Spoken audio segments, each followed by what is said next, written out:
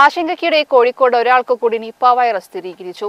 ആശുപത്രിയിൽ നിരീക്ഷണത്തിലുള്ള മരുതേങ്കര സ്വദേശി മുപ്പത്തിയൊൻപത് വയസ്സുകാരനാണ് നിപ്പ സ്ഥിരീകരിച്ചത്. ഇതോടെ ആക്റ്റീവ് കേസുകളുടെ എണ്ണം നാലായി. കോഴിക്കോട് ഒരാൾക്കു കൂടി നിപ്പ വൈറസ് സ്ഥിരീകരിച്ചു.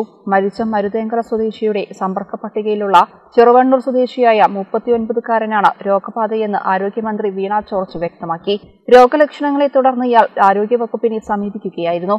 മരുതോങ്കര സ്വദേശി ചികിത്സ തേടിയ കോഴിക്കോട്ടെ സ്വകാര്യ ആശുപത്രിയിൽ ഇയാളും ചികിത്സയ്ക്കായി എത്തിയിരുന്നു. കോഴിക്കോട് മെഡിക്കൽ കോളേജിൽ സജ്ജമാക്കിയ എൻ ഐ വി പൂനെയുടെ ലേബിലാണ് പരിശോധന നടത്തിയത്. നിലവിൽ ആശുപത്രിയിൽ ചികിത്സയിലുള്ള ഇദ്ദേഹത്തിന്റെ ആരോഗ്യനില തൃപ്തികരമാണ്. ഇതോടെ ആക്റ്റീവ് കേസുകളുടെ എണ്ണം നാലായി. നിപ്പ വൈറസ് സ്ഥിരീകരിച്ചവരുടെ സമ്പർക്ക പട്ടിക മൊബൈൽ ലൊക്കേഷനിലൂടെ കണ്ടെത്താൻ പോലീസ് സഹായം തേടാൻ ആരോഗ്യവകുപ്പ് മന്ത്രി വീണ ജോർജ് അവലോകന യോഗത്തിൽ നിർദ്ദേശം നൽകിയിട്ടുണ്ട്.